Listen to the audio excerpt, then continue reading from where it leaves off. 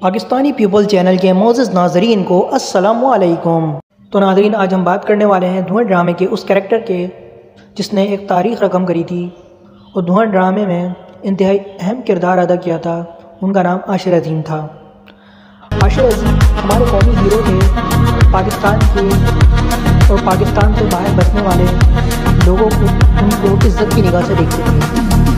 लेकिन जब से उन्होंने हमारी फ़िल्म बनाई हमारी फ़िल्म सिनेमाओं के अंदर रिलीज़ होने से रोक दी गई। उसके बाद आशिर अजीम का करोड़ों रुपए का सरमाया डूब गया और वो पाकिस्तान छोड़कर कनाडा शिफ्ट हो गए। कनाडा के अंदर उन्होंने एक ट्रक ड्राइवर की नौकरी शुरू की और उससे वो अपने घर का गुजर बुजर करने लगे। उसके बाद ही फिर उन्होंने एक नया सिलसिला चलाया।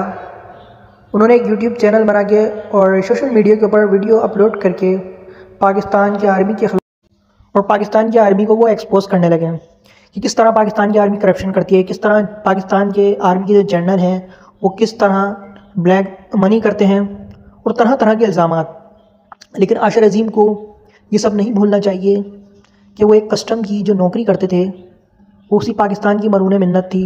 उन्होंने जो धुआँ ड्रामा जो बनाया था, वो उस आर्मी ही की मदद से बनाया था, क्योंकि लॉ इन्फोर्समेंट एजेंसी ने उनको जो तमाम तरफ़ वसाइल फराम किए थे वो एक आम ड्रामा बनाने वाले डायरेक्टर को भी नहीं किए जाते उनको हेलीकॉप्टर तक दे दिया गया था उनको तमाम रसाई तक दे दी गई थी उनको आर्मी की एक अकेडमी भी दे दी गई थी जहाँ पे उन्होंने एक ट्रेनिंग हासिल करी थी ड्रामे के लिए। और उसके बाद उनको तमाम तर असला दे दिया गया तमाम तर डिवाइस दे दी गई जिसके ज़रिए आवाम को ये पता चला कि इंटेलिजेंस जो इदारे होते हैं वो किस तरह कार्रवाई करने के लिए और किस तरह के जदीद सोर्स इस्तेमाल करते हैं ये उस वक्त नाइनटी के अंदर पाकिस्तान की आवाम ने धुआँ ड्रामे के ज़रिए देखा। लेकिन आशिर अजीम ने खूब दाद वसूल करी और उस नौकरी से आशर अजीम ने खूब पैसा कमाया उस ड्रामे से भी खूब पैसा कमाया और शहरत हासिल आज उसी आशिर अजीम को पाकिस्तान बुरा लग रहा है पाकिस्तान की फ़ौज बुरी लग रही है।